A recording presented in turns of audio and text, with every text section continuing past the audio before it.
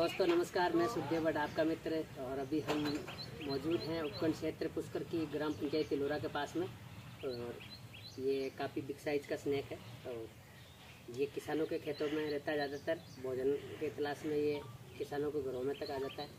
यहाँ पर सतरावड़ा जी है, जो हमारे मित्र हैं, उन्होंने दूरभाष के माध्यम से सूचना दी थी।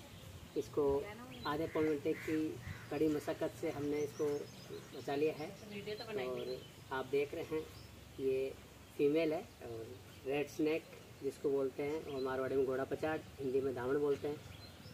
क्या नाम है तुम्हारा? धर्मानाथ। ये धर्मानाथ है यहाँ पर किसान इन्होंने मेरी मदद की है इस सांप को पकड़ने में।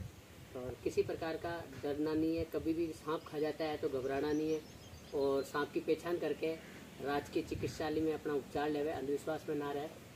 हाल ही में अभी गए 25 मार्च को मेरे को इतने बड़े कोबरा स्नैक ने बाइट किया है और अभी मेरा उपचार चल रहा है। लेकिन आपकी दुआओं ने, आपके सहयोग ने और मेरे आत्मबल ने मेरे को बचाने में मदद की है। डॉक्टरों ने भी काफ़ी मदद की है मेरी और हर हाल में मेरा जो भी उपचार है, वो सटीक तरीके से इलाज किया है। प्रॉपरली मैंने आइडेंटिफाई किया है कि कोबरा स्नैक का और न्यूरोटॉक्सिस जहर होता है, इसके अंदर जो नर्वस कंट्रोल करता है।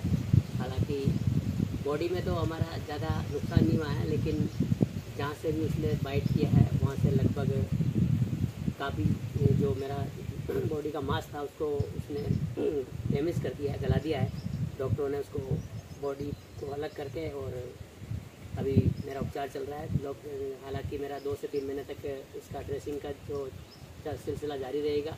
हो सकता है आठ से दस दिन में मेरा सर्जरी का भी कहने के लिए बोल रहे हैं डॉक- डॉक्टर्स तो ऐसे आपके आसपास में आ जाए तो आप सिर्फ़ और सिर्फ़ कोबरा टीम से संपर्क करें और ऐसा प्रयास कभी ना करें। ये एक एक्सपर्ट का काम है। ऐसा अगर आप करते हैं तो आपका जीवन को आप खतरे में डाल सकते हैं। जय हिंद, जय भारत। Cobra team, Rajasthan. वन्य जीवों को बचाने के लिए इसी प्रकार से काम करती रहेगी।